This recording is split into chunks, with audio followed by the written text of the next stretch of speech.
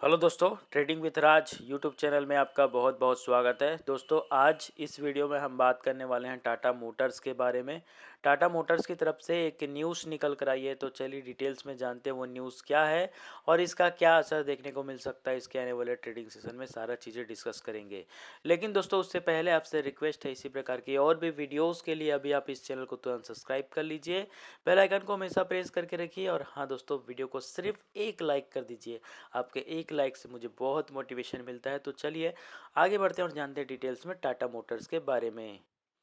दोस्तों, पाँच जुलाई 2021 को टाटा मोटर्स का शेयर प्राइस तीन सौ सैंतालीस पाँच पैसे पे ओपन हुआ था और लो बनाया था तीन सौ चौलीस रुपये का और उसके बाद एक अच्छी तेज़ी देखने को मिली और तीन सौ पचास रुपये दस पैसे तक का हाई हमें देखने को मिला था।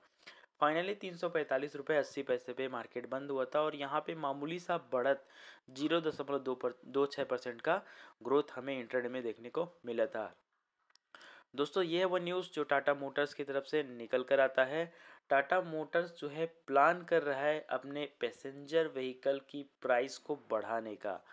तो ये एक न्यूज़ निकल कर आया है टाटा मोटर्स की तरफ़ से और उन्होंने ये मंडे को कहा है कि वो प्राइस इंक्रीज़ करना चाहते हैं व्हीकल, पैसेंजर व्हीकल रेंज की और इसके पीछे रीज़न ये है कि इनपुट जो होता है, सामान यूज़ होता है, मटेरियल यूज़ होता है, उसकी प्राइस लगातार बढ़ रही है, इस वजह से वो अपना प्राइस बढ़ा रहे हैं कार का।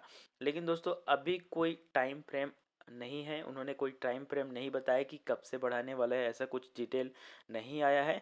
तो जैसे ही आता है यहाँ पे आपको इन्फॉर्मेशन यहाँ पे मिल जाएगा। दोस्तों मोस्टली बहुत सारी कंपनी है, उन्होंने ऑलरेडी अपने प्राइस को बढ़ा दिया है। टाटा मोटर्स ने भी बढ़ाया लेकिन क्या है अब जो इनपुट कॉस्ट के जो शार्टेज हो रहा है, इस वजह से यहाँ पे प्राइस में इंक्रीमेंट देखने को मिल रहा है। संडे को होंडा कार ने भी अनाउंस किया है कि वो जो है कार का प्राइस बढ़ा रहे हैं अगस्त के, अगस्त महीने से। तो यहाँ पे सभी कार कंपनी धीरे धीरे अपने प्राइस को बढ़ा रही है। अब दोस्तों, यहाँ पे मैं रिटर्न की बात करूँ तो यहाँ पे भले ही पाँच साल में हमें नेगेटिव रिटर्न देखने को मिल रहा है, लेकिन अब कंपनी बहुत अच्छा काम कर रही है और पॉजिटिव रिज़ल्ट हमें यहाँ पे जो है पॉजिटिव रिटर्न हमें देखने को मिल रहा है। पिछले तीन महीनों से थोड़ा सा सुस्ती तो दिख रहा है इस स्टॉक में, कहीं ना कहीं थोड़ा सा स्लो हो गया है। कोई भी स्टॉक हो, एक लगातार तेज़ी के बाद थोड़ा सुस्त हो ही जाता है, फिर इसका समय आएगा। दोस्तों, इस स्टॉक में जो इसका बावन वीक का हाई था तीन सौ उसके ऊपर क्लोजिंग देगा तब इसमें आपको बड़ी लेवल की तेज़ी देखने को मिलेगी।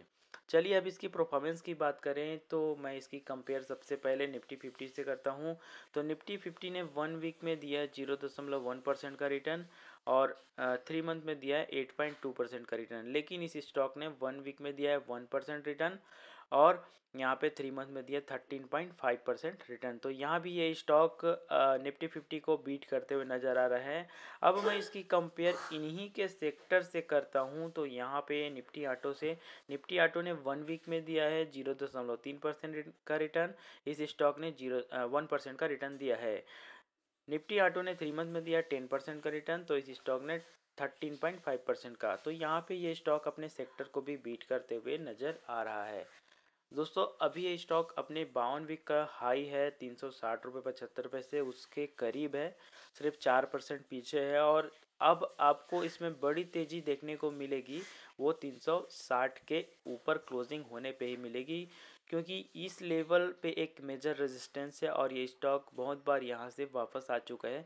ये सबसे बड़ा रीज़न है। तो यहाँ पे बड़ी तेज़ी 360 के ऊपर क्लोजिंग होने के बाद ही मिलेगी। उससे पहले ये ऐसे ही चलते रहेगा साइडवेज। चलिए दोस्तों, इस वीडियो में इतना ही। मैं आपके लिए ऐसे वीडियो लाते रहूँगा। वीडियो अच्छा लगा हो तो बिल्कुल लाइक करके जाना यार। आपका भाई आपके लिए ऐसे वीडियो लाते रहेगा।